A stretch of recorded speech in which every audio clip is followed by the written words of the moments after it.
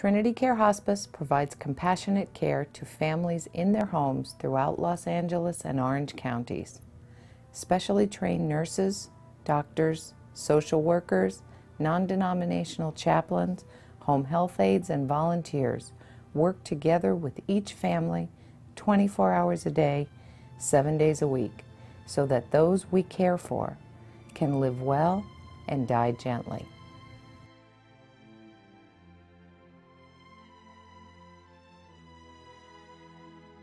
Uh, two years ago, Stephen noticed that he had um, some symptoms, like uh, his foot was dropping and uh, had slurring of speech. And so um, when he went to have that checked out, they diagnosed him with um, ALS. He can't speak, right? so he always writes. At this, you know, at this point, he's still able to write. He's definitely wheelchair bound. He um, he still he does manage to get out sometimes. You know, go to he goes to movies still and gets out. Um, I noticed last week when I was here that um, he was losing a little bit of muscle control in his neck because his head was tilting, although it looks better today.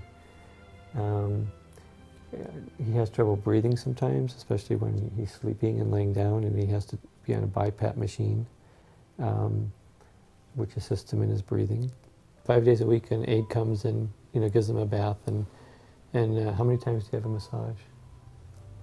And once a week, uh, somebody comes to give a massage. And uh, um, Stephen said that that just makes him feel great, feel feel better. You know, feels he likes feeling clean, and the massage kind of re reduces some of the stress. One of the things we talked about was is, is he afraid of dying and afraid of well afraid of death, and he said he wasn't because he knows there's better places to go to. As he said today, one of the things that living this way has been torturous for him. His food intake is is primarily through a feeding tube. You know, we, we were talking about all different kinds of options of how to proceed, and um, and I told him that I would, uh, as a chaplain, I would support him in whatever decisions he made.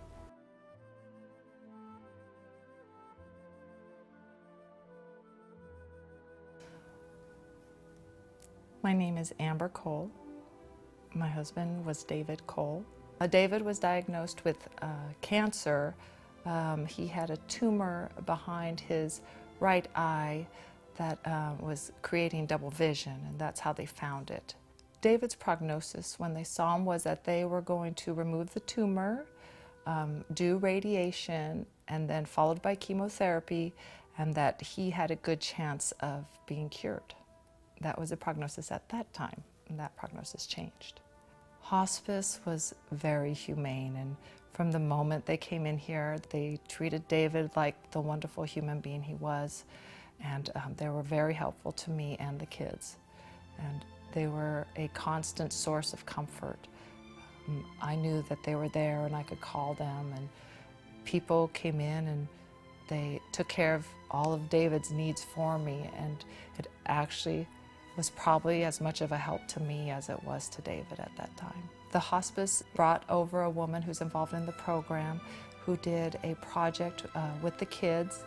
It was a handprint project where um, the kids and, uh, put their handprints on a tree of life, essentially, and um, David's hands are on it, and my hands, and the kids' hands, and their aunt and uncle's hands. So it was quite a lovely um, project for them to do together. The experience with hospice was very positive. My only regret is that we didn't do it sooner. My name is Gertrude Stone. I was diagnosed with lung cancer. So they sent me for a CAT scan, and I went there with, with my husband. And then they called me and they said, the cancer, it's cancer, and it's terminal. So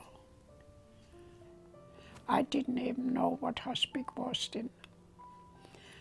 Anyhow, I said, what he said, he said, well, then you get all your medication and the doctor and the nurse and everything comes in your house.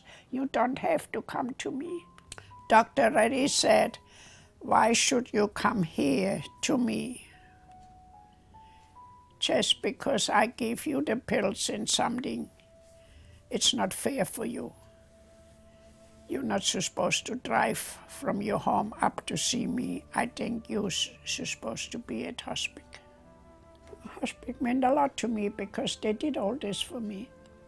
Because if I didn't have them, I still had to run to my doctors. But with them, I don't have to go anywhere. The service with hospice is excellent. Very good. I got no complaint for nobody. My name is Josephine. Bustamante.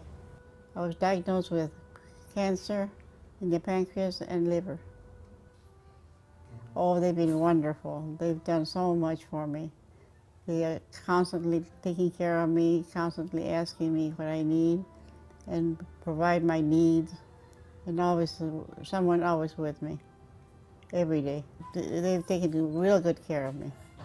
I call, I call them, and they, they are right there for me. Well, I don't know what I would do really because I, I, I'm, I don't, I didn't know anything about cancer. They have explained cancer to me that I don't have to ask questions from, no, from nobody, but I understand it more that my, of my di- disease than I had before. I'm very, very grateful to them because I haven't done without anything. As soon as I, if I feel anxiety, if I feel any pain or anything, all I do is call them and the medicine is right here.